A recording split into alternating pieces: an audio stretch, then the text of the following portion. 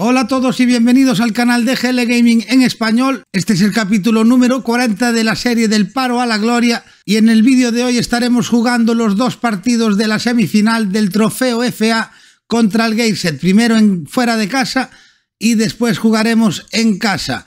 Como podéis ver en pantalla, desde el último capítulo no hemos tenido una buena racha de partidos. Ya incluso esa racha empezó antes del último vídeo. Desde ayer hemos jugado tres partidos, el primero contra el Jovil que hemos empatado a ceros, después ganamos 3-1 fuera de casa contra el Dagenham y Redbridge, antes de empatar una vez más 0 a 0 en casa, esta vez contra el Bournemouth. Así que como podéis ver, llevamos cinco partidos de liga en casa sin ganar. El último partido que ganamos en casa fue en los cuartos de finales del trofeo FA, en el último vídeo contra el Chorley pero en la liga el último partido que ganamos en casa fue contra el Chesterfield hace ya casi dos meses y ese lo ganamos por un gol a cero. También he de decir que seguimos con exactamente el mismo problema que teníamos en el vídeo anterior, que debido a tantos partidos que estamos jugando tan seguidos, estamos teniendo que rotar muchísimo la plantilla, incluso de vez en cuando tener que darle algunos minutos a jugadores de los sub-19 para poder descansar a los titulares. De hecho, en el último partido jugamos a varios de esos suplentes para intentar tener el equipo titular para la Copa y así concentrarnos más en ella. Como podéis ver, hemos asegurado los playoffs. Estamos ahora cinco puntos por detrás del Port cuando quedan tan solo cuatro partidos por jugar. El Solihull Moors está 10 puntos por detrás nuestra aunque tienen un partido menos jugado, así que con ese partido podría ponerse siete puntos por detrás nuestra. Hudlin sigue como Pichichi de la temporada de momento, sacándole dos goles al siguiente contrincante. Aún no quiere renovar contrato con nosotros, cada dos por tres le sigo intentando ofrecer la renovación, pero no quiere, así que parece ser que nos vamos a quedar sin él para la temporada que viene a ver si conseguimos el ascenso y después de conseguirlo a lo mejor sí querrá negociar, pero de momento no es así. Como podéis ver, aún, aún después de rotar seguimos teniendo jugadores cansados, incluso hemos sufrido alguna lesión. Chamber se perdió un par de partidos por culpa de lesión, de hecho acaba de volver y no está al 100% para este partido. El once inicial será Marcelo Pitaluga en la portería, Rankine, Kirk, Greenwich y Lomas en la defensa, Craig Díaz Wright jugando en el centro del campo con Grantham Cross y Waldman por delante de ellos en la media punta. Hudlin será nuestro delantero centro. Vamos a empezar ahora el partido jugando fuera de casa contra el Gateshead en el partido de ida de la semifinal para el trofeo FA. Si conseguimos un buen resultado aquí podremos a lo mejor descansar a algún jugador para el segundo partido. Si por otra parte no conseguimos una ventaja en este partido nos veremos obligados a intentar salir con nuestro mejor equipo en el partido de casa para intentar llegar a esa final en el estadio de Wembley. De momento llevamos 10 minutos de partido y por lo que nos han mostrado hasta ahora es el Gateshead quien parece tenerlo bajo control. Ahí vemos cómo recuperan el balón fácilmente y de nuevo intentan montar otro ataque, ya que el anterior sí conseguimos despejarlo, pero esta vez se metieron detrás de la defensa y ya estamos perdiendo por un gol a cero. Fedel Roslan consigue marcar el primer gol del partido, minuto 10, y nos encontramos ya teniendo que remontar no solo el partido, sino también la eliminatoria que se nos acaba de poner cuesta arriba tras ese gol tempranero por parte del Gateshead. Estamos perdiendo por un gol a cero tras tan solo 10 minutos de partido y parece ser que nos van a mostrar la repetición con las líneas para el fuera de juego, pero no había opción de que fuese fuera de juego. No lo parecía cuando fue el gol de primeras, así que ahí con las líneas vimos aún más que no había opción de que ese gol fuese anulado. Ahora llegamos al minuto 25 y del nuevo el Gateshead vuelve a tener el control del balón. Ahora están intentando montar otro ataque, encuentran una vez más un hueco en la defensa y vaya gol que nos acaban de meter una picadita por encima del portero y estamos fallando demasiado en defensa, dejando demasiados huecos para que puedan entrar y quedarse encarando al portero como vemos aquí. Nos pillan con la defensa bastante descolocada. Greenwich que debería estar cubriendo ese hueco se encontraba bastante más adelantado de lo que debería estar y eso creó un hueco ahí para que el delantero pudiese meterse detrás de la defensa y conseguir marcar el segundo gol del partido. Si ya teníamos una cuesta arriba antes de este gol, a partir de ahora la tenemos más aún. Marcelo Pitaluga que ahora envía un balón en largo buscando a Hudlin que consigue prolongarla, pero al estar él solo arriba hubiese sido mejor que intentara cabecearla hacia la banda donde sí tenemos un par de jugadores, uno en cada banda, pero no es el caso. Intentó eh, prolongarla, pero no había nadie con él y casi nos marcan un tercer gol que ya a estas alturas tempraneras sentenciaría prácticamente el partido. Afortunadamente ese disparo salió desviado y ha sido un saque de puerta. Ahora tenemos nosotros por fin el control del balón, un centro desde la banda derecha y Hudlin consigue marcar su gol número 35 de la temporada con ese remate de cabeza.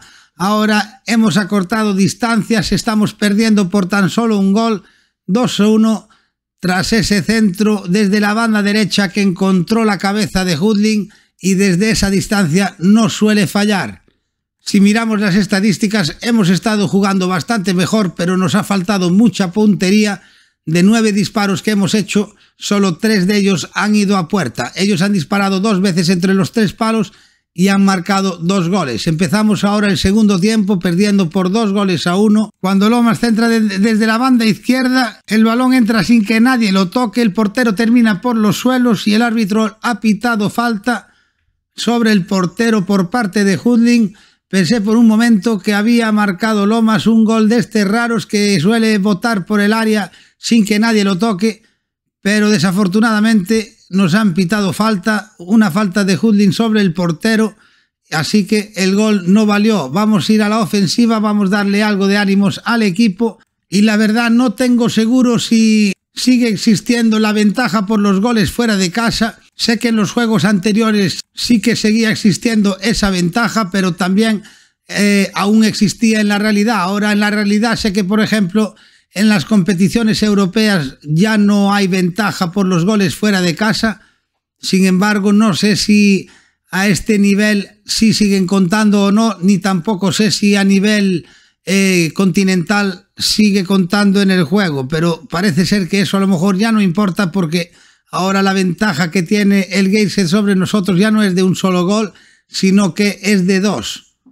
Pero si esa ventaja aún existe en el juego, pues eh, incluso perdiendo aquí por tres goles a uno, si ganamos 2-0 en casa, podríamos vernos jugando la final en el siguiente capítulo.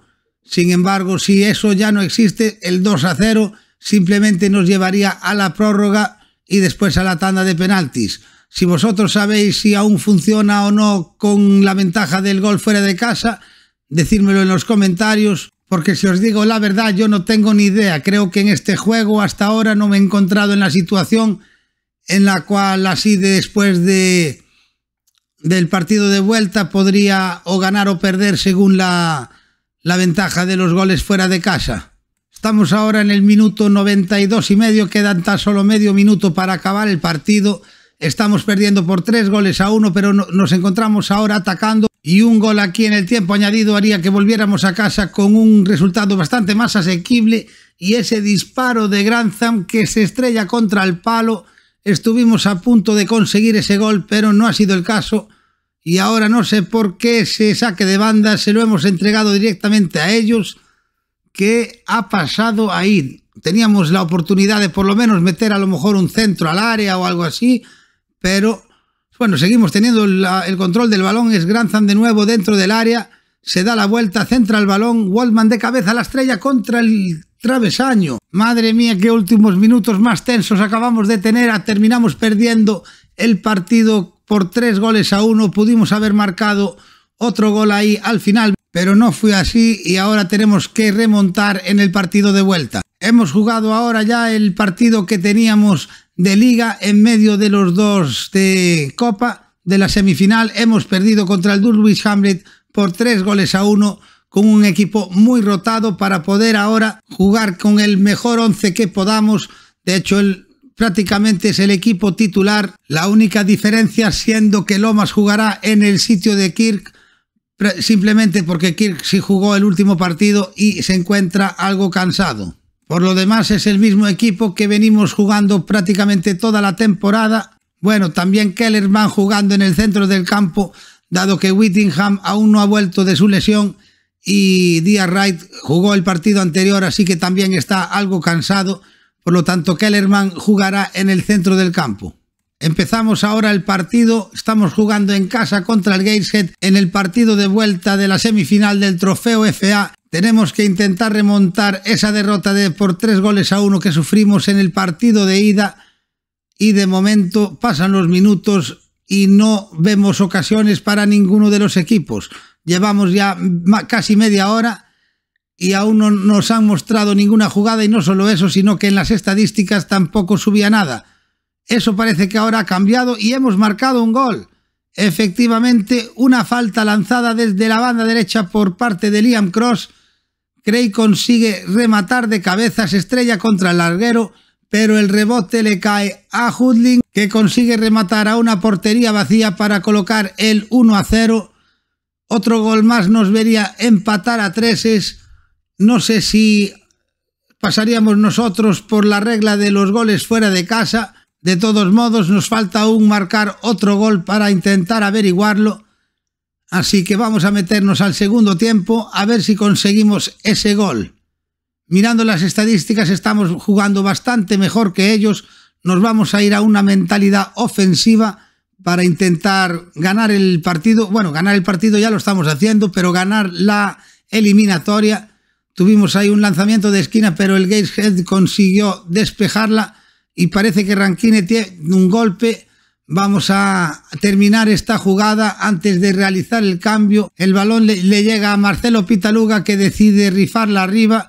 Aunque mantenemos el balón, sin embargo ahora parece ser que se lo hemos entregado y vaya error que acabamos de cometer al entregarles ese balón. Pero al parecer estamos jugando bastante mejor defensivamente de lo que lo hicimos en el partido de ida y fuimos capaces de cerrarnos atrás y evitar que esa jugada llegara a crear ningún peligro. Ahora es Hudlin que tiene el balón, se la entrega a Cross, Cross con un pase por encima para Chambers por la banda izquierda, cabezazo de Hudlin que se estrella contra el palo.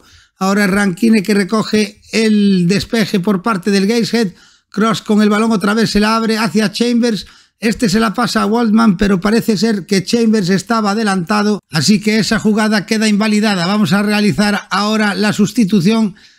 Tenemos a Will Greenwich en el banquillo, por lo tanto será una sustitución fácil. Rankine saldrá del terreno de juego para ser sustituido por Will Greenwich. Y ya que estamos justo antes del minuto 70, estoy mirando a ver si hay algún jugador cansado y efectivamente. Así que vamos a probar algo que creo que aún no habéis visto en ningún vídeo. Lo probé en algunos partidos y no salió mal, en otros tampoco salió bien, y es de adelantar a Grantham para jugar de delantero y meter a Mirin jugando en la banda derecha. No olvidemos que la posición natural de Grantham es considerada la de delantero centro, simplemente que nosotros lo estamos usando en la banda por su velocidad y su capacidad de regate. No nos aporta a lo mejor tanto remate como Hudling o como Cook y mucho menos eh, los remates de cabeza que nos podría dar. Y pensé que, por un momento pensé que iba a marcar ahí un pedazo de lanzamiento de falta, desafortunadamente se pierde por la línea de fondo para un saque de puerta y ahora conseguimos marcar a la salida de ese córner cabezazo de Luis Lomas tras el centro de Liam Cross y de seguir así parece que vamos a averiguar si aún sigue funcionando lo que os pregunté antes sobre los goles fuera de casa o no, porque con el resultado así, si aún cuentan los goles fuera de casa, deberíamos ser nosotros los que pasan a la siguiente ronda, porque tenemos el gol que marcamos en el partido de ida. A ver si no nos marcan ellos ahora en los últimos minutos, pero sí que nos han marcado. Esto no va nada bien, estamos eliminados de la Copa, bueno, quedan aún poco menos de cuatro minutos de tiempo añadido, obviamente tiempo da a intentar marcar otro gol y ahí sí que nos iríamos a la prórroga ya que habríamos quedado 3-1 en los dos partidos, pero este gol que nos acaban de, de meter baja la moral bastante, si te digo la verdad, pero bueno, hay que agachar la cabeza e intentar marcar otro gol más y ahora intentar forzar la prórroga. Vamos a exigirle más a los jugadores. Tenemos a Chambers subiendo la banda centro para Grantham, pero el disparo de Grantham es bloqueado por el defensa del Gateshead. Tenemos un lanzamiento de córner, Cross que lo lanza y es despejado por la defensa del Gateshead. Ahora Chambers que recoge de nuevo el balón, sube la banda, se la pasa a Cross. Ahora es McClellan de nuevo para Cross. McClellan de nuevo. Ahora Kellerman. Vaya golazo que acaba de marcar Michael Craig. No suele marcar, de hecho es su segundo gol de la temporada pero nos acaba de salvar las papeletas con ese disparo desde fuera del área. Vamos a verlo repetido. Aquí Cross con el balón se la entrega a McClellan, ahora es Kellerman que se la da a Craig y de primeras consigue meterla por la escuadra superior derecha, coloca el 3 a 1 en el marcador y ahora si no nos marcan un gol, forzaremos la prórroga. Vamos a intentar que esta vez no nos marquen el gol y, y tendremos media hora más de partido ahora mismo es el Gateshead el que tiene el balón y no, no me digas que van a marcar otro gol así y menos mal que Pita Luga consigue pararlo, será un saque de esquina, pero me saca de quicio cuando el juego decide hacer este tipo de cosas en la cual te puedes pegar el partido entero empatado y en el momento que, que tú marcas un gol te marcan otro al momento, marcas otro, te marcan otro después al momento y me tiene pasado eso hasta llegar al 3-3 a veces y de momento aún no se acabó el peligro. Debería ya el árbitro pitar el final, ya se ha acabado el tiempo que supuestamente iba a ampliar el árbitro. Es un lanzamiento de esquina por parte del Geise del centro se pierde por el otro lado del área y al jugarla hacia atrás ahora sí debía pitar el final, no lo hace, conseguimos despejarla Aún no pita al final, el partido sigue, llevamos ya más de un minuto por encima de lo que señaló el árbitro, ahora finaliza el partido, 3-1 perdimos en el partido de ida, ganamos ahora 3-1 en el partido de vuelta, así que jugaremos la prórroga. Hemos empezado ya la prórroga y parece ser que los minutos iban pasando bastante rápido sin jugada, ahora tenemos una, somos nosotros quien tenemos el balón, Kellerman en la frontal del área, se la pasa a Chambers, ahora es McClellan, se la da de nuevo a Chambers, Chambers intenta subir por la banda izquierda, centra el balón, pero ese centro es despejado por parte del Geyser y ahora está buscando el contraataque, aunque Craig consigue impedirlo. Ahora es Mirin con el balón que se la abre hacia la banda izquierda, donde está Chambers de nuevo. Una vez más seguramente intentará buscar un centro, efectivamente. Qué buen centro se acaba de marcar y Mirin está ahí para rematar ese disparo y colocarnos por delante en el marcador. Vamos a bajar de mentalidad ofensiva a una mentalidad positiva. Estamos ganando ahora por cuatro goles a uno en el partido de hoy, 5 a 4 en el global y este resultado nos daría un pase para jugar la final en Wembley. Aún no sabemos obviamente contra quién sería. Eso lo averiguaríamos después del partido. Vamos a ver quién necesita cambios y sinceramente todos los jugadores están reventadísimos vamos a mantenerlos de momento ahí por si tenemos alguna lesión, siempre tenemos algún cambio que poder hacer. Hemos llegado al descanso de la prórroga y ahora tan solo 15 minutos nos separan a nosotros de una visita a Wembley.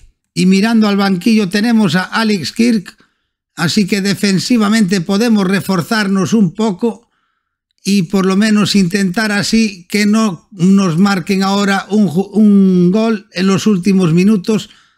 El más cansado era McClellan, así que ese será el cambio que hagamos. No sé si tenemos otro cambio. Efectivamente, sí, al ser la prórroga nos aumentan a cuatro cambios. Metemos entonces también a Cook en la delantera, que así si podemos aprovechar un contraataque, pues bienvenido que sea. Vemos que está un McClellan ahí en el partido, así que aún no se hicieron efectivos los cambios y esperemos que en esta jugada no nos marquen el gol porque si no, eso sería bastante decepcionante. Por otra parte, Grantham, antes de salir del terreno de juego, casi consigue él marcar un gol, pero una buena parada del portero consigue evitarlo. Ahora sí que se han hecho efectivos los cambios, quedan poco más de cinco minutos de partido de la prórroga y parece ser que vamos a ir a jugar a Wembley. Hemos ganado este partido 4-1. La eliminatoria en la global ha sido 5-4. Así que tendremos la oportunidad de jugar en el mitiquísimo estadio de Wembley.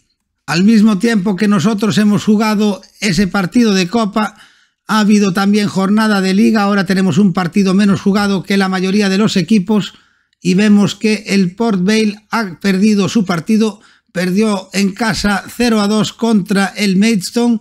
De haber ganado aquí, habrían ya ganado ya el título automáticamente, pero como han perdido, aún tenemos opciones de ganar, aunque muy escasas.